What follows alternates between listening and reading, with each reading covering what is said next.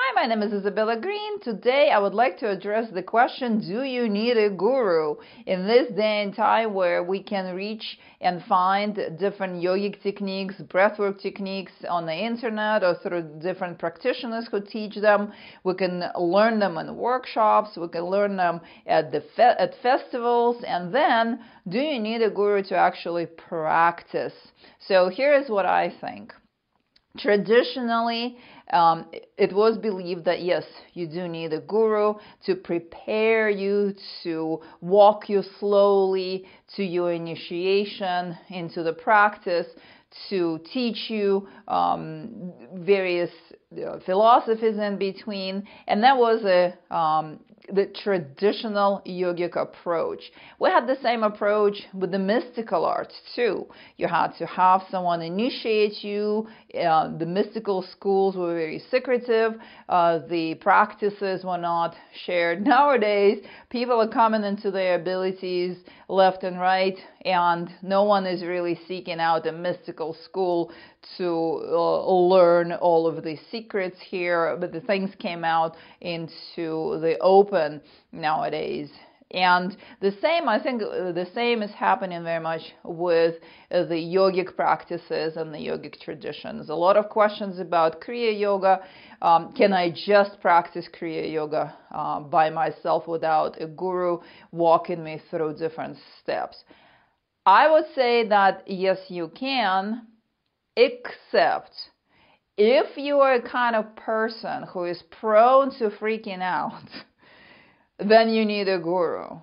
Um, the main concern with Kundalini yoga practices or waking up your Kundalini energy is uh, that you might freak out. If you're prone to freaking out in uh, your everyday life, if you're if you're the kind of a person who wants to know every little detail about everything, you need a guru.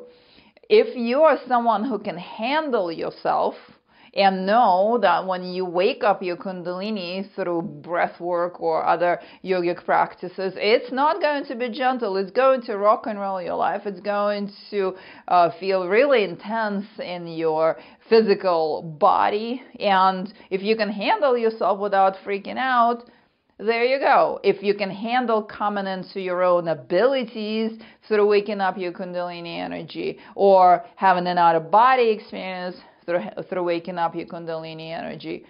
You don't need a guru because you are able to sustain your own sanity, so to speak, sustain yourself within the common sense kind of behavior.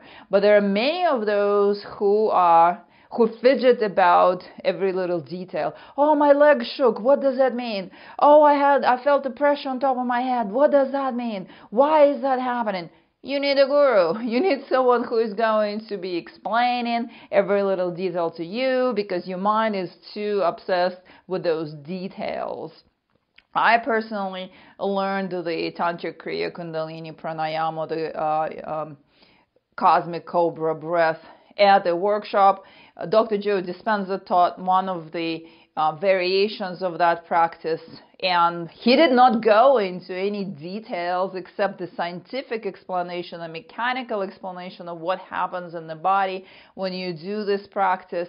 And if you're interested in, in knowing these scientific details, then by all means go ahead uh, and sign up for his workshops or research his material. It's it's fantastic. It's it's really down to earth. But there was no hold in hand uh, afterwards. There was no you know, explaining that your legs are gonna shake or you're gonna sweat uh, or you're gonna have a rapid heartbeat or whatever. None of that. Um, I learned the breath work and I started doing it and I've been doing it for well that was 2010 so for all these years since 2010 and nothing happened to me nothing bad happened to me only the good things happened to me. I've been doing this on my own for all these years. I started doing the nighttime meditations. Nothing bad occurred. I have actually, my life has turned into an entirely different experience. My abilities came, came online again, and uh, my health improved, everything improved. So if you are steady and stable in your mind, you know that you're not going to freak out when you have that explosion in your head when you when your kundalini energy finally moves up and explodes and you feel like you're having um, a hundred orgasms in your brain and you're not going to freak out about it or if it moved and you left the body and you're face down blocked out um, and wake wake up four hours later thinking that was 20 minutes if you're not going to be freaking out about these things, you do not need a guru. You can do this on, on your own, and you will be better off, in my opinion, because you can move forward faster. With the traditional yogic approach, they walk you very slowly from one initiation to the next, and uh, with a lot of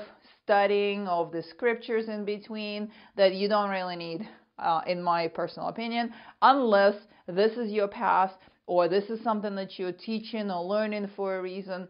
Uh, but to improve your life, to, to be able to create an out of body experience, to attain the freedom that this uh, these practices, the Kriya Yoga, Kundalini Yoga practices, Raja Yoga practices, give you, you do not need a guru in the present day and time. That is my personal opinion. And I wish you to experience the most uh, joyful expansion and exploration. Keep the sense of awe, keep the sense of curiosity and remember that the main goal of these practices is liberation, the freedom of your soul from the cycle of reincarnation, from the Maya or the um, density of the earth experience. In the scriptures, in the Vedic scriptures, and I did not read the Vedic scriptures, I heard that from a different teacher um, who who teaches the Vedic scriptures. So in chapter six of the Vedas, Krishna says, "Steady your spine, steady your neck, bring your attention to your third eye, balance your breath, and be free." And that is what the final goal of your practice is. I wish for all of you to find this freedom. I have two workshops, in-person workshops in March of 2024, what one at the Sedona Ascension Retreat. Use code Exiting Reincarnation, that's the name of my workshop, to uh, receive 10% off of your event pass.